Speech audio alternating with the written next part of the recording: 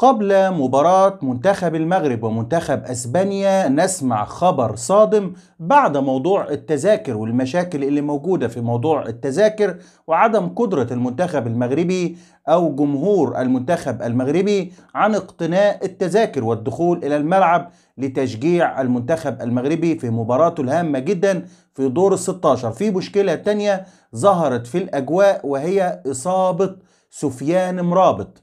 نجم خط الوسط ومن أحسن اللاعبين المتواجدين في منتخب المغرب في هذه النسخة من المونديال. أصداء وكلام كثير جدا جدا يقول أن هناك شكوك حول مشاركة سفيان مرابط في مباراة أسبانيا.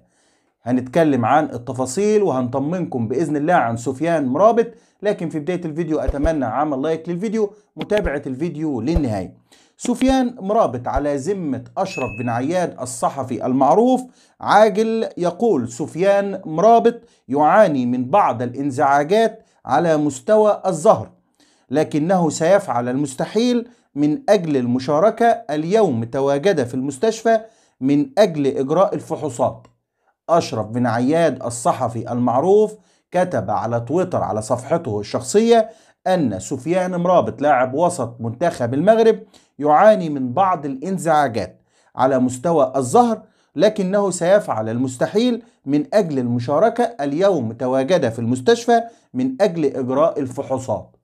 طبعا إحنا النهاردة شفنا الصور والفيديوهات اللي جاية من تدريب أو من التدريب النهائي لمنتخب المغرب قبل المباراة أو التمرين الأساسي التدريب الأساسي كان متواجد فيه سفيان مرابط بشكل طبيعي جدا. وبالتالي شعر ببعض الانزعاجات على مستوى الظهر وذهب إلى المستشفى لإجراء الفحوصات. من الواضح إنها انزعاجات إن شاء الله يعني ما توصلش لدرجة غيابه عن مباراة أسبانيا.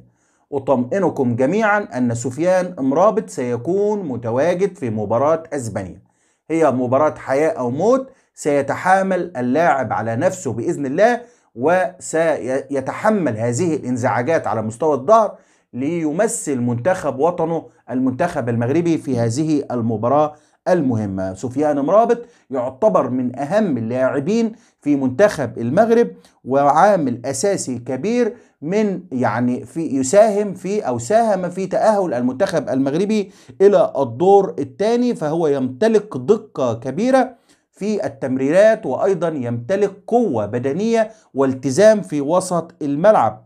تكلمت الصحف العالمية عن سفيان امرابط بعد دوري المجموعات وصفته صحيفة لا جازيت دييلو سبورتا الإيطالية بالحائط كما قالت صحيفة ليكيب الفرنسية أنه يمتلك ثلاث رئات كما أشاد به مدربه وليد الركراكي. وطبعا شفناه في مباراة بلجيكا والدور الكبير اللي عمله أمام وسط منتخب بلجيكا بقيادة هازارد ودي بروين. أيضا في مباراة كرواتيا أمام لوكا مودريتش وكوفاسيتش وبروزوفيتش وأيضا أمام كندا وهو يعني كان متمسك وكان يضغط على اللاعب ألفونزو ديفيز لاعب بايرن ميونخ وينتظر سفيان امرابط ومنتخب المغرب ووسط ملعبه. مهمة قوية جدا أمام وسط ملعب منتخب أسبانيا التي يتكون من الثلاثي لاعبي برشلونة غافي وبدري وبوسكيتس. وبالتالي مهم جدا سفيان مرابط يكون موجود في هذه المباراة ويكون بكامل لياقته وبكامل مستواه. إذا خبر على ذمة أشرف بن عياد سفيان مرابط اشتكى من بعض الإنزعاجات على مستوى الظهر ذهب إلى المستشفى وأجرى بعض الفحوصات ولكنه يؤكد أن سفيان مرابط سيتحامل على نفسه ويشارك في مباراة أسبانيا. إن شاء الله كل الشفاء العاجل لسفيان مرابط ويكون أول الموجودين في الملعب بكرة ويشرفنا بإذن الله. بقينا خلاص الصباح اليوم بإذن الله ماتش المغرب وأسبانيا. نتمنى كل التوفيق لمنتخب المغرب اسود الأطلس أمام الماتادور الأسباني. اتمنى عمل لايك للفيديو واشتراك في القناة. والسلام عليكم ورحمة الله وبركاته.